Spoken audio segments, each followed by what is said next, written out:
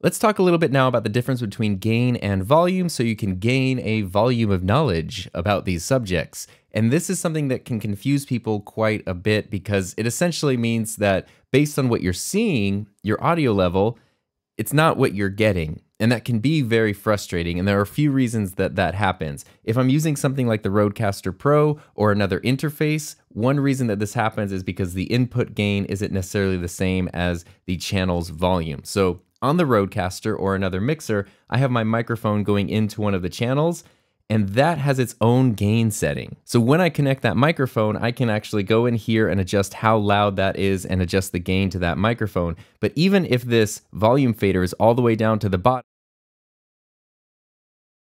I said, and, and you can't hear me at all, there's still a signal coming in. We're just not incorporating it into the mix at all. So I have my signal set where I want my input gain, and then I can control the level of that with the volume fader here, the level that actually goes into the mix. So that means there's two different controls to ultimately affect what the output is from the Rodecaster Pro or whatever interface you happen to be using. This can also happen with something like a USB microphone.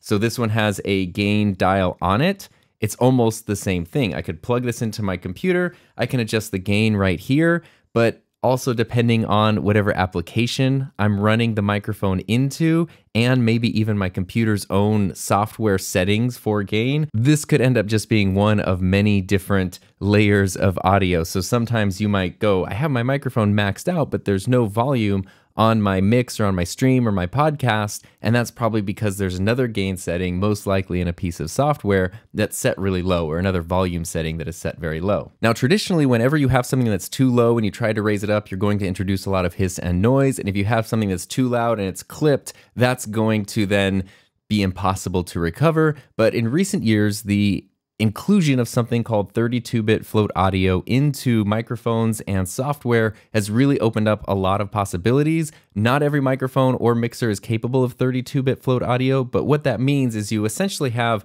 a, a raw piece of audio that has a lot of dynamic range. The low lows and the high highs, nothing is cut off. And even after you've recorded, you can go into the editing and then you can adjust what part of those sound waves you're really focusing on. So if something is too quiet, instead of artificially boosting it up, you can essentially just readjust where the recording is focused on on the sound waves and it will allow you to raise the level without introducing noise. If you've clipped off sound waves, you can then recover those clips and those peaks. This microphone right here, the Rode NT1 fifth generation, I'm using it as an XLR microphone, but it does also have a USB port on the bottom, and it is a 32-bit float audio microphone when using it in USB. To give you kind of a better idea of what I'm talking about, this is me on the Rode NT1 5th generation recording directly into Adobe Audition, and I've set up a 32-bit float file. Right now, I'm speaking at a normal volume, and you can see the sound waves. Everything looks pretty normal, but if I speak loudly,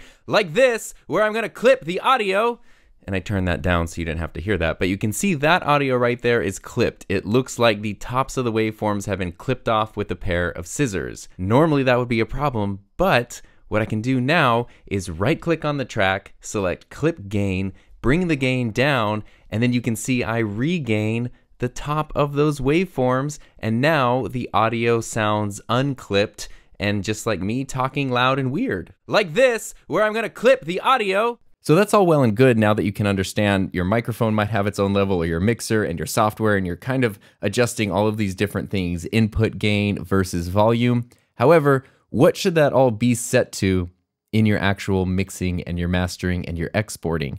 Traditionally, something like an audio podcast is mastered to negative 16 decibels, and that's a good place on your audio meters to focus, is trying to make everything. It doesn't mean that you're only limiting it to negative 16 decibels, it just means that that's kind of like the average of where things are hitting. Maybe some stuff goes a little bit above it, maybe some stuff is a little bit below it. But if you're at negative 16, then that's going to be an easy way to make sure that your show sounds good to most people on most speakers, headphones, or whatever sound system they happen to be using. There are a couple of different ways that you can master your podcast to negative 16 decibels. And one of the easiest ways is just to look at the the meters in whichever software you're using and just make sure that that's kind of where things are hitting. If you want to be a little more specific, or maybe you're working with a bunch of different audio, if you have four different audio tracks from four different microphones and things are at different levels, what you might end up needing to do is then something called normalizing your audio. In Audition, what I can do is double click on my audio, go up to effects, and then go over here to amplitude and compression and select normalize. The process means that it's going to look at the whole clip or whatever I have selected in the clip